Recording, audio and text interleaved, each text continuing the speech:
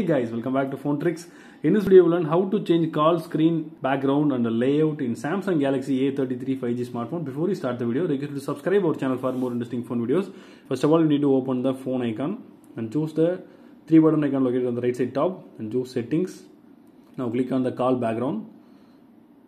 Now click on the layout to change the two layouts. If you want to click on the background, you can click and change the video backgrounds.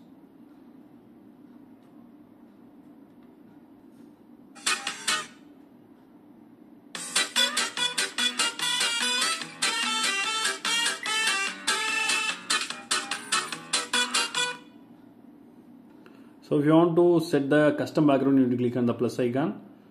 You can create AR emoji or you can select from the gallery. If you want to select that, you can set this calling background.